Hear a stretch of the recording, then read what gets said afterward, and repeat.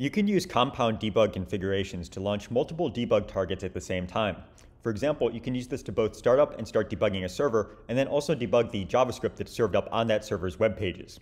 Now here, for example, I have a simple Express project, and let's say that I wanted to both debug the Express application itself, as well as the JavaScript that it's serving up. Here I already have separate debug launch configs for each of those. So I have launch program here, which will start up the Express server, and then I have launch Chrome here, which will actually go and attach to the JavaScript that's being served up. But let's go and create a compound debug configuration so we can just launch everything and start debugging both of those just by pressing F5. To start with, here in my launch.json file, I'm going to go in and create a new section below configurations called compounds. And IntelliSense will help out here, so I'll say compounds.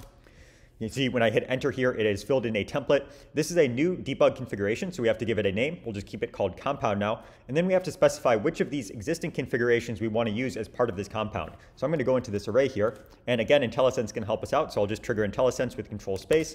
And you can see it's suggesting launch Chrome. So I'll say yes for that. And then launch program as the other one here. So we're just listing out the names of the targets that we want to include in this compound.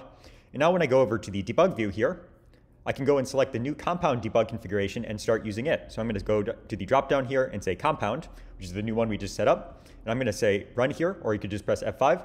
And now it has both launched the server, so you can see that we have hit a breakpoint on the Express page here. And then it's also gone and uh, launched Chrome and attached to the Chrome browser uh, and the JavaScript that's being served up there. So here we've hit the server breakpoint first.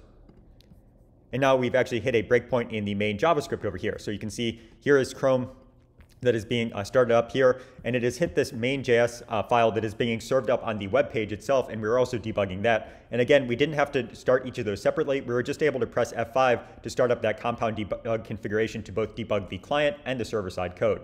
So that's a quick look at compound debug configurations for VS Code. Be sure to check out the docs for more details and information on setting them up.